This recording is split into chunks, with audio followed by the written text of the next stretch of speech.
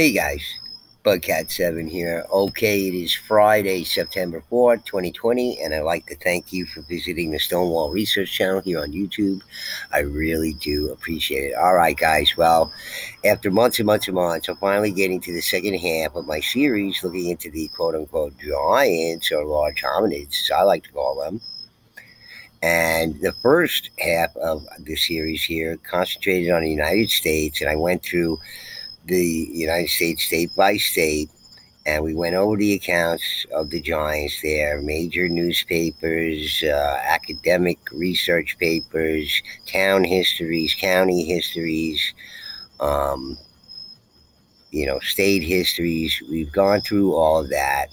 And, you know, often again, I mean, besides being just absolutely fascinating, and you, if you haven't seen it, I put it into a playlist on my channel so you can just go there. If you just want to look at your own state and not look so much as other stuff, that's fine. Just take a look at it, man, because whatever state you're from, there's something there to talk about.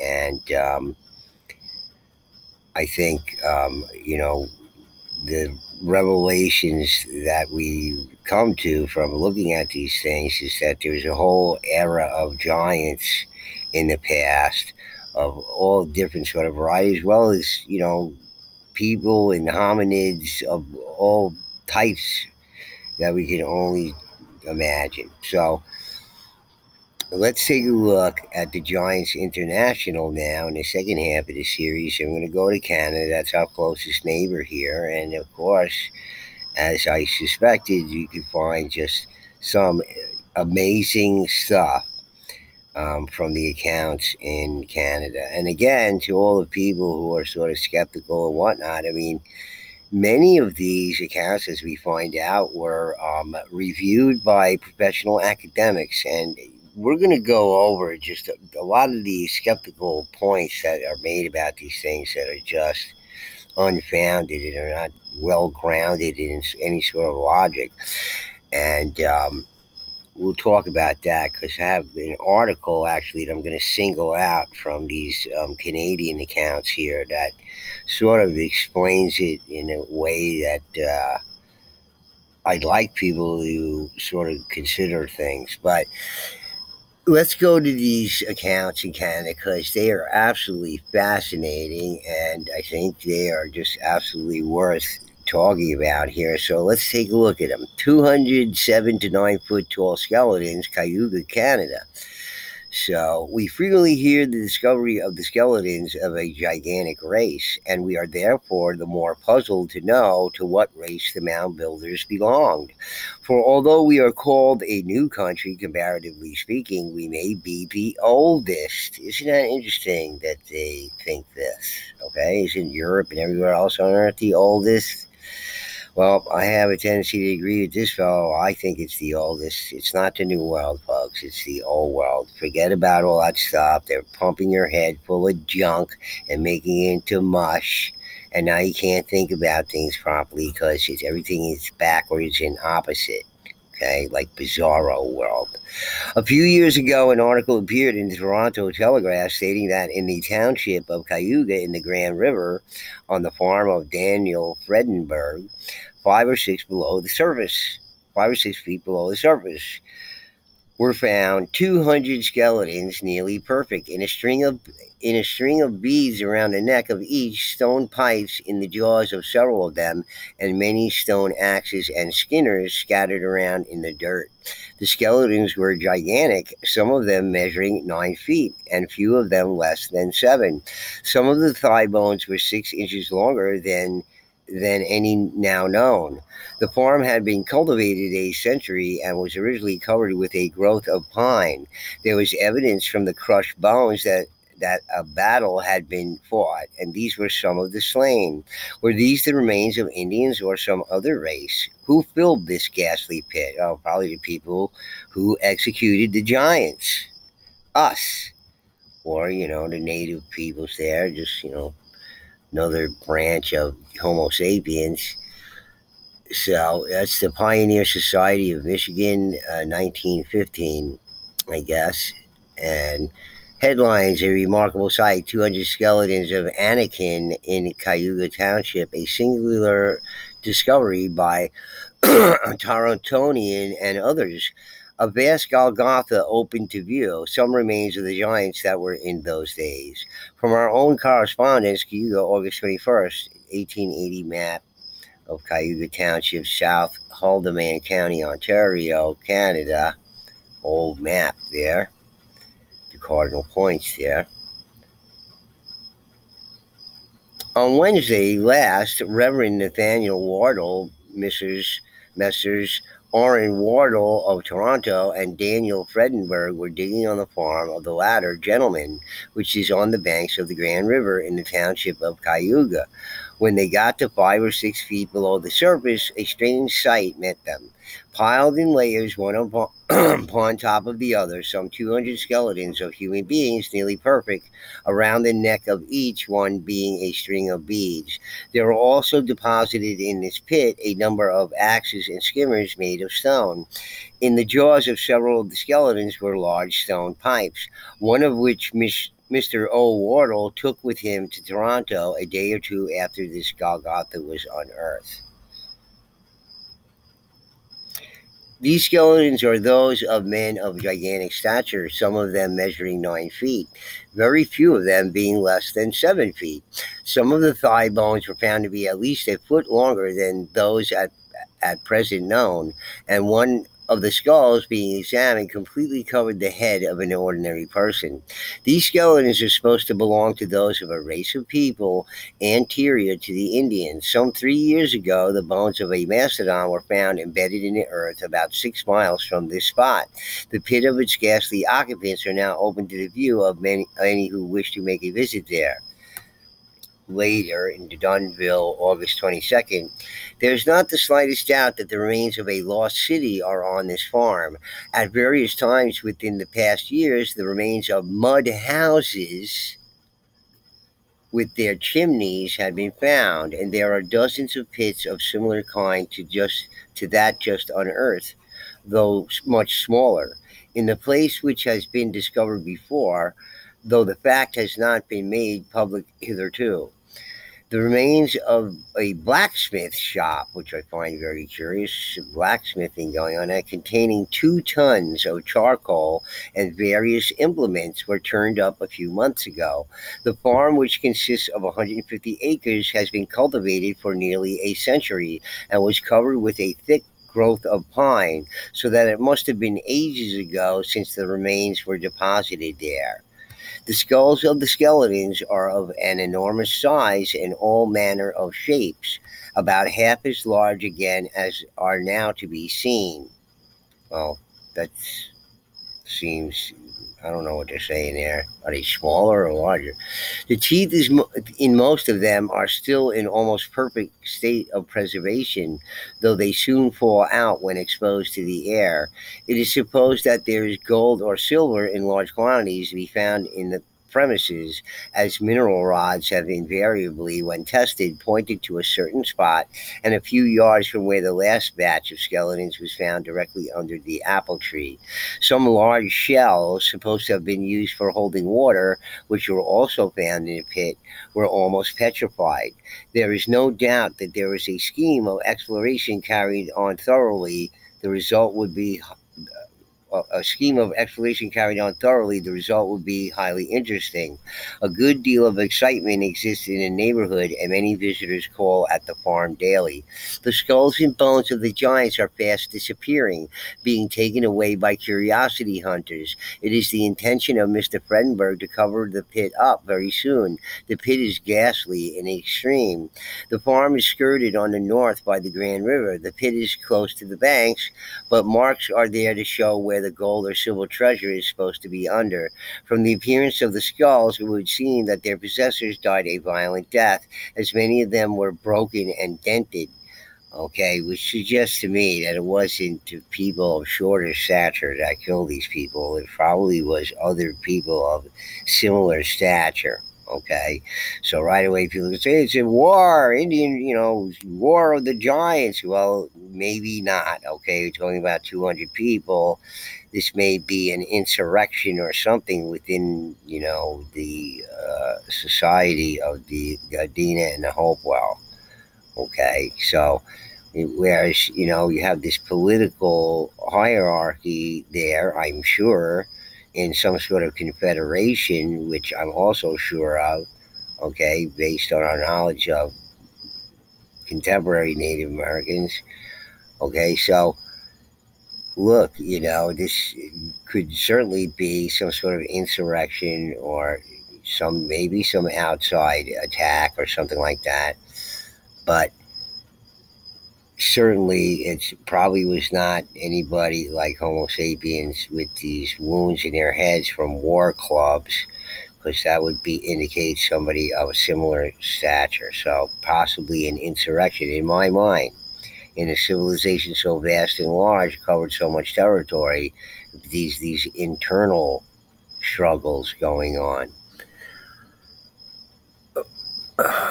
The the axes are shaped like tomahawks, small but keen instruments. The beads are all of stone and of all sizes and shape. The pipes are not unlike in the shape the cutty pipe, and several of them are engraved with dogs' heads. They have not lost their virtue for smoking. Some people profess to believe that the locality of Fredenberg Farm was formerly an Indian burial place, but the enormous stature of the skeleton is in fact that pine trees of centuries' growth covered the spot goes far to disprove this idea. Ancient source Ancient American American, Volume 6, Issue 41, research and submitted by Benoit Crevier, originally published in the Daily Telegraph, Toronto, Ontario, Wednesday, August 23rd, 1871. Okay, so very interesting there. Mud huts, a, a smithy shop, um, all sorts of things unearthed there, never to be seen or accounted for again, and you know, just disappeared for some strange reason. Giant axe head from Manitoba. Giant tools and artifacts too large for normal sized people. Giant axe head, 16 inches long, weight 27 and a half pounds. Okay, normal size stone axe head, six inches long, weight five pounds. Okay, so even a five pound axe, okay, stone axe would be quite taxing on the average human being. Most axe heads don't weigh more than, you know, four pounds, five pounds. Okay, they have other types of axes, but the motion for swinging those is similar to that of a sledgehammer those are different kinds of axes. The type of ones that you swing vertically, like what they're suggesting here, would be extreme in the extreme, even at 27 and a half pounds, even if it was some sort of adze or something like that, it still would be incredibly heavy for human beings. And again, they'll just, you know, mainstream archaeologists and anthropologists will say that these things were votive votive items as if the people intended that they were going to be of giant size into the afterlife everywhere they were going. But no research, cultural research by anthropologists has ever revealed that they thought this at all by any tribe in any of the Americas anywhere. Okay, this is their own made up stuff. Okay, their own fantasy because they just can't believe it. Okay, they've been trained and programmed to assume other things, okay? All the stuff that you and I and everybody learned in school about these things, and some stuff we didn't learn on purpose.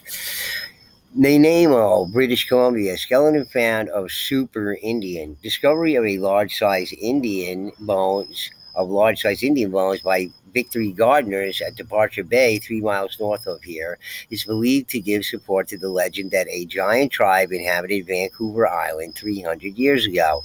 The lower jaw, part of a skull, and the shin bone of an Indian were, were unearthed, and preliminary examination suggests that their owner may have been around seven feet tall, weighed more than 400 pounds, and was between 70 and 80 years old when he died. It is believed he may have died in battle, as the legend persist that a giant tribe exterminated the Nanaimo Indians 300 years ago at Departure Bay. Get that, okay? a giant tribe exterminated the Nanaimo Indians, okay? Bones found were covered with small rocks three feet under the surface. Okay, so very interesting there. This humanoid or whatever it was weighed 400 pounds. They estimate it was between 70 and 80 years old. so awfully old when he died. Okay.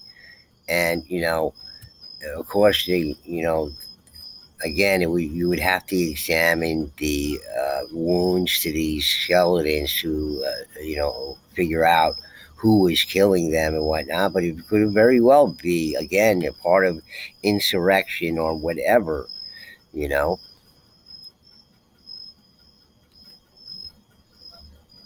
All right.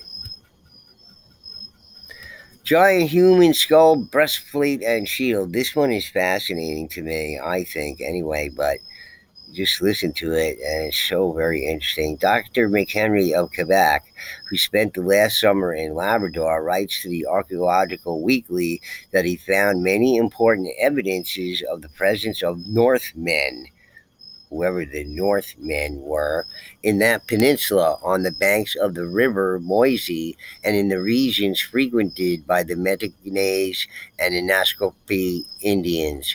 One cairn in particular, the stones of which were so heavy as to defy the assaults of Indians or bears, he forced open with gunpowder and found it it, it found in it a giant human skull, breastplate, and brass bound shield. The breastplate, though much rusted, bore signs of an inscription or legend. Failing to decipher which, he sent it to Copenhagen, Copenhagen to see if it could be made out by the American archaeologists there. Yeah, they made it out all right, shipped it right back to the Smithsonian where they you know, got rid of it somewhere. But isn't that interesting?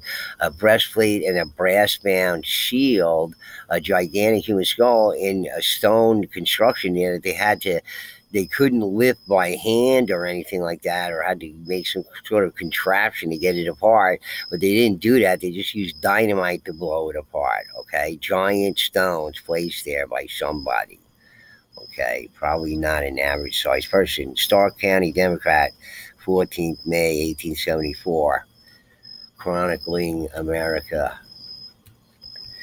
MacGillivray, seven feet, four and a half, petrified giant. Again, another interesting thing, and we've seen and heard about all these petrified giants in the Americas. And my question is, without able being able to examine this thing, okay, what is it exactly? Is it truly a petrified human being?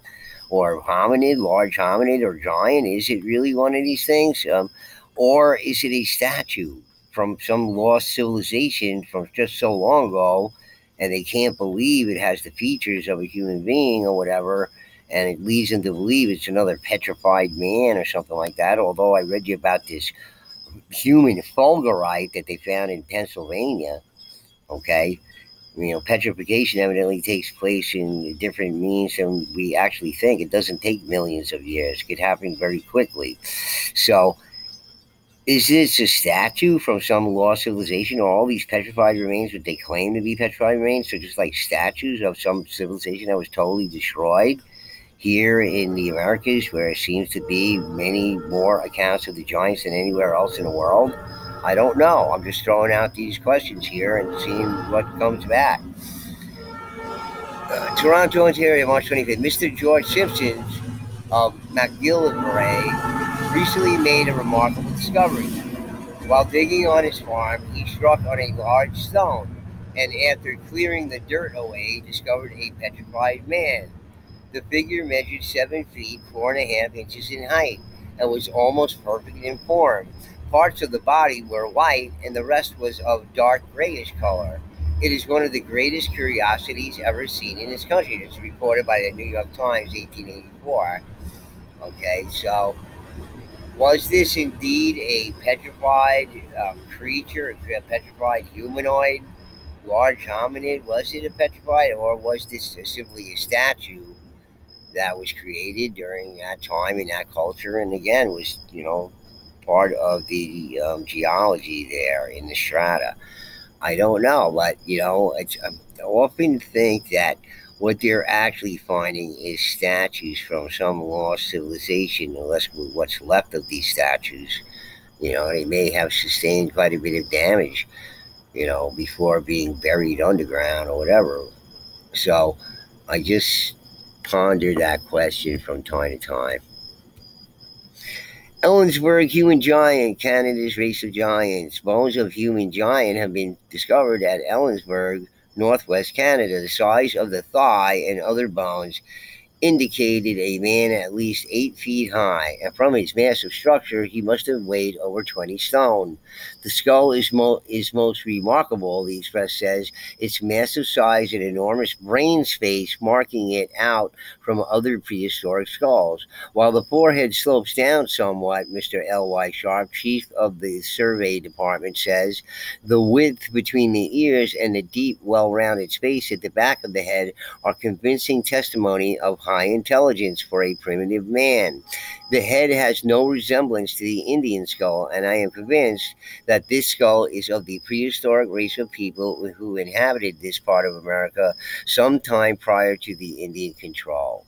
Okay, so it's from the Hawera Norm, Normanby Star, 30 November 1912, 20th century. So, again, you know, the they're often saying that these people were of high intelligence.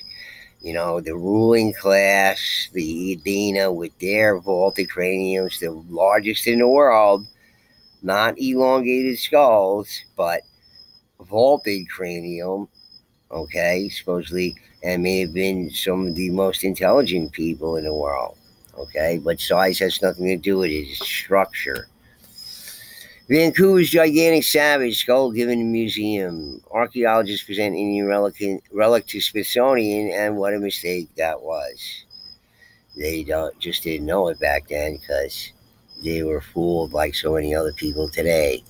Skull given museum. Archaeologists present Indian uh, bones of Flathead Chief.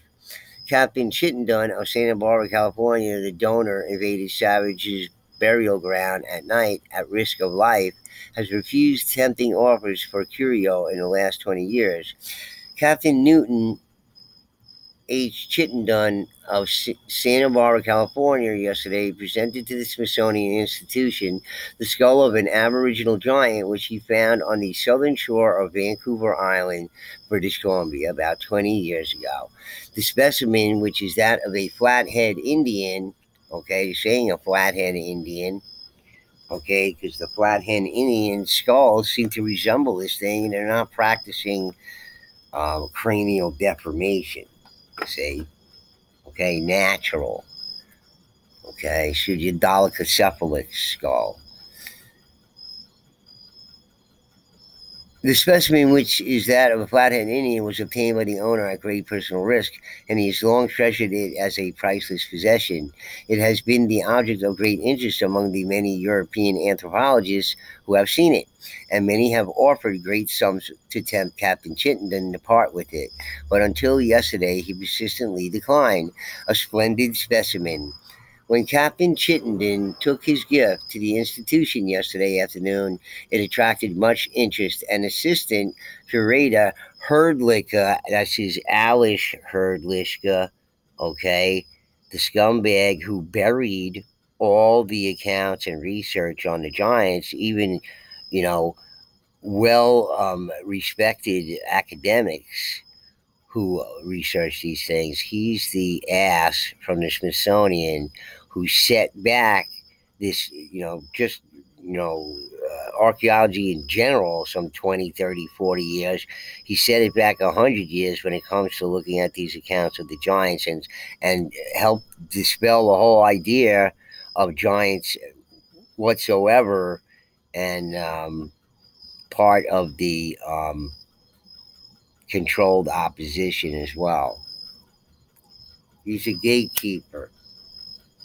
He's the gatekeeper at the Smithsonian from the past.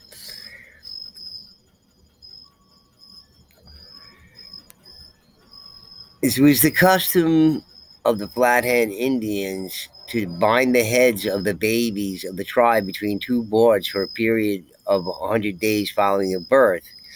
But see, this is the whole thing. The Flathead Indians were never known to do this while you know, in the known histories of them, when whites finally contacted them, Okay, they weren't doing that at the time, but they were supposedly known for doing this. Okay, just they make stuff up.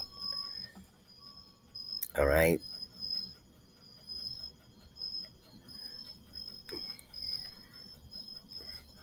As a result, the skulls of the tribe were flattened in front and back. The flat head was the standard of beauty in the tribe. The greater the depression of the cranium, the more handsome the possessor was their belief. The Flatheads inhabited the Columbia River Valley and portions of Vancouver Island. Gave up law practice. I don't want to read about him giving up this law practice, but you know, he found this thing here, and it's just giant skull was donated to the Smithsonian Institution, and here, um, you know, uh, the moderator of the site is showing uh, Agent Smith here. So,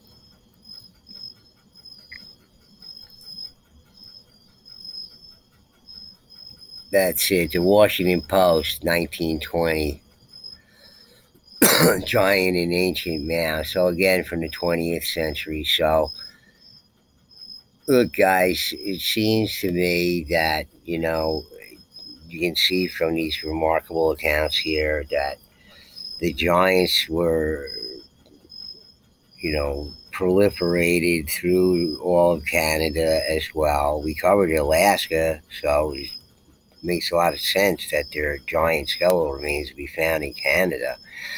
So, again, guys, it's, they're all over the world, okay? We're talking about uh, civilization and a worldwide society, the antediluvian society that had all these rather large and strange hominids in them and other hominids, you know, people, we were there, possibly human beings at least 200,000 years ago. But I have other theories about that we can talk about later on. Again, because of corn. But if you want to know more about corn, you got to look at my videos on corn because that just says a lot in itself. But any case, guys, that's the end. That's the last article here that I want to read about the giants found in Canada. And you can see no less remarkable accounts here. Okay, some of them looked at by experts, as is usually the case in the past. But the skeptics and naysayers say that those people were just, you know, they were illiterate or, you know, they weren't uh, so, we weren't so advanced enough in the medical sciences for them to determine this. But I beg to differ with that. We're going to cover, I singled out another article from Canada here that you're going to want to hear about. We're going to do it. I'll do it in between whatever uh, country I probably do in Mexico next. So, we'll do Mexico and then I'll do that. And we'll see what goes from there. That's all. We're going to go worldwide. Every single country that at least has accounts that we know about. All right. Hope you found that fascinating. Please do hit the like button. And Budcat7 signing off. A peace.